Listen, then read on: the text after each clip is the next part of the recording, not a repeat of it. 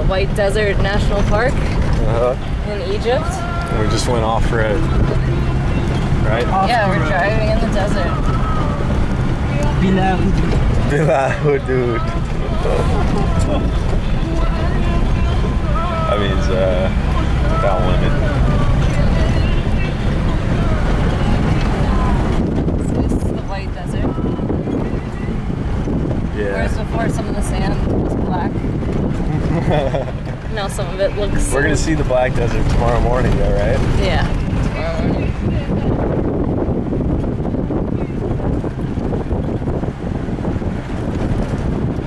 You can do donuts out here.